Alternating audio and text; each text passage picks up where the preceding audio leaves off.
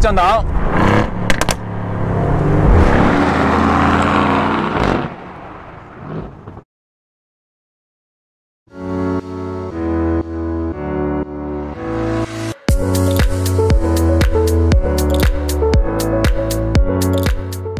对于驾驶者来说，勾起心跳的因素有很多种，动力、减震器、驱动方式，但有一种是最直接的，那就是声浪。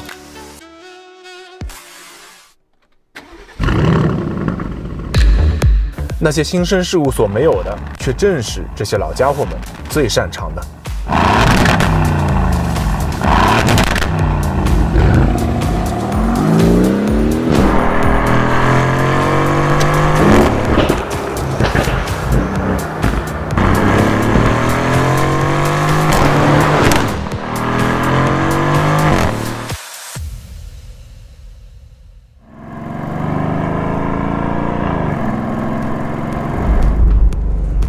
对于我来说呢，这就是最好的放松方式之一。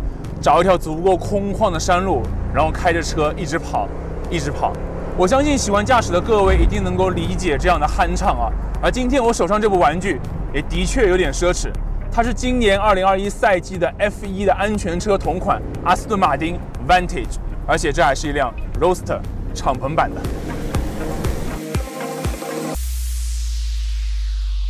Every breath you.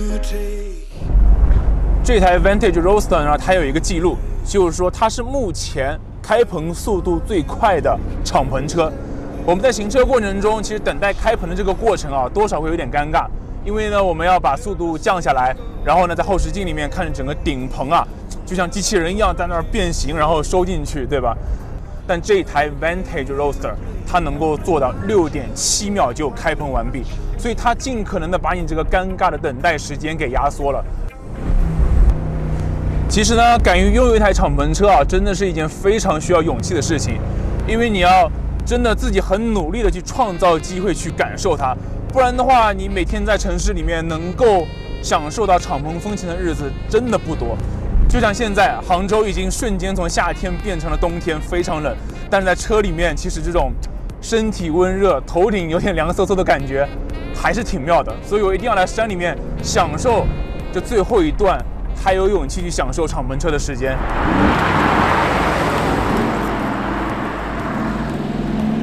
OK，我们还是来聊一聊动力总成。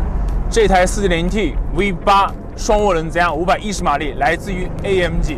但 AMG 呢，并没有把最好的 M178 贡献出来，而是给到了一台跟 C63 一样的 M177 代号的发动机啊。但其实这个真的不太重要，因为这辆车它是跑车，它有一个非常好的车身架构，它的发动机在前轴之后，它的变速箱在座舱之后，所以这辆车有一个很理想的五十比五十的这样的一个车身配重啊。加上这整个底盘真的调得非常的活，非常的运动，所以现在你如果拿 Vantage 去跑赛道，你会发现它真的不是过去传说中的那种阿斯顿曼丁了，它是能够给你一个比较漂亮的圈速的，而且有非常好的人车交互的体验。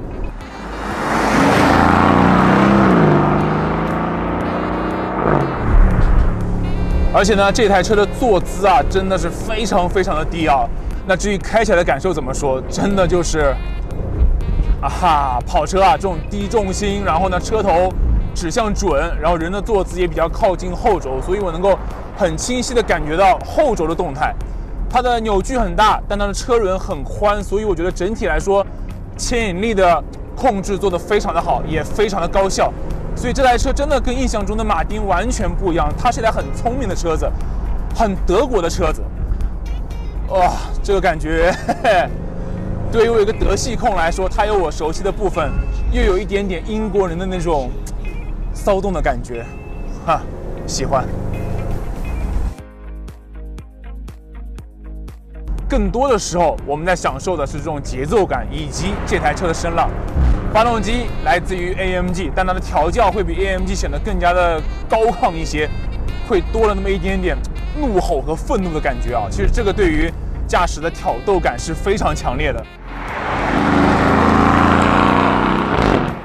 你们听，哇，太容易出声音了！只要你稍微拉一点转速，砰一声，刹车降档。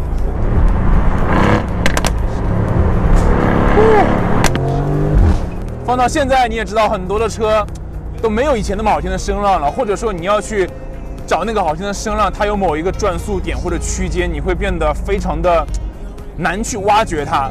这个年头连法拉利都哑了，但 Vantage 还能有这样高亢的声浪，哇，这个真的是太妙了。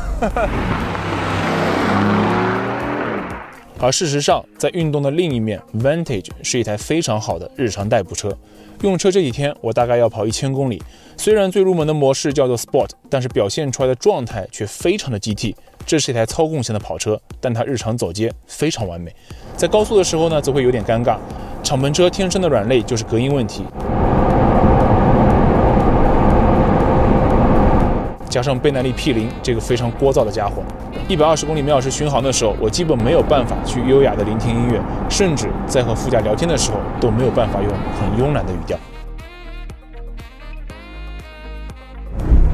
好了，让我们放下那些理性的评价，因为现在我们并不是在赛车场上，我更多的想跟你们分享我现在的感受。我可以百分之一百的确定，我没有选错车子。这台 Vantage Roadster，它有动力。它是后轮驱动的，可以给我轻微的滑动，让我去控制它。它有声浪，真的很好听，而且又是敞篷的，这种声音变得更加的三维立体，萦绕在我的身边啊，这种感觉真的太好了。而且凉风吹过，哇，这就是敞篷车最幸福的时刻。现在其实是一个非常非常感性的一个状态，你知道吗？这种感觉可能像马丁的客户他们去买。马丁的车子，他们可能并不会非常理性的去分析数据或者性能、圈速等等，他们只有一个念想，就是他们要一辆纯正的英伦跑车，他们要的是那一种感觉，而这种感觉现在 Vantage Roadster，哇，强烈的给到我了。